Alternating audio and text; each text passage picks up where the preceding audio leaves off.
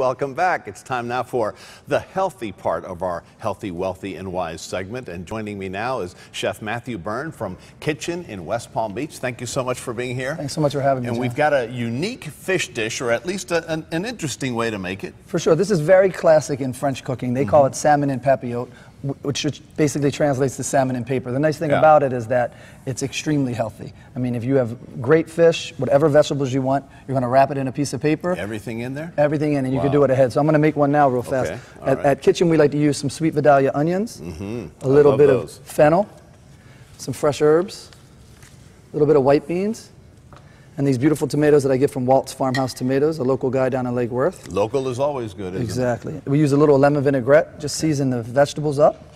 We're going to top it with some beautiful salmon fillet. I mean, if you don't like salmon. You can do it with any fish? you can do it with chicken. oh, with You can do it with scallops. You can do it with more vegetables if, you're, if you want to get completely vegetarian. All right. I'm going to make sure we season the fish.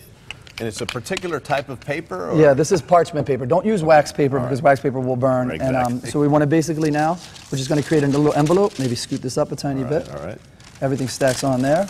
And basically, the, the, the only hard part, which is not hard at all, is making sure you just keep folding over Mm-hmm. and in so that you seal it all the way up. We learned how to do that in grade school. Exactly. Now you just use it in the kitchen. It's like making an envelope. That's right. And then That's once we're done folding it up, at the end, you want to just give it a slight little twist.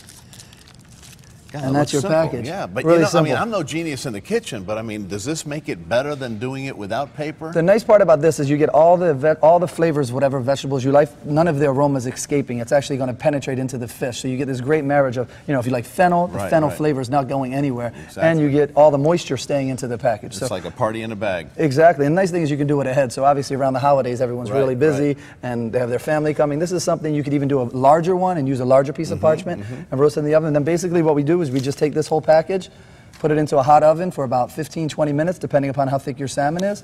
And then we kind of uh, take it out. This is what it looks like when it comes out. Use a pair of sharp scissors or a, a knife. All You can roll it up. Look at how pretty that comes out. And out. then, yeah, That's we great. just drizzle it with a little more of the lemon vinaigrette. You can serve this with a little crisp salad on the side or some roasted potatoes. if you Paper doesn't burn. Paper if doesn't you burn. use the right paper. If, you, if you're using parchment paper, not wax paper, wax paper will definitely give you some problems. All right, it's like a party in a bag. It's a party in That's a bag. great, and it comes out good. If you don't like turkey, here's your alternative maybe for Thanksgiving, right? Absolutely. All right, you can get this recipe on our website, WPTV.com. Mathew Byrne from Kitchen, thank you for being here. Thank you Happy so much. holiday. I really appreciate right, it. Thanks we'll so see much. you next time. Nice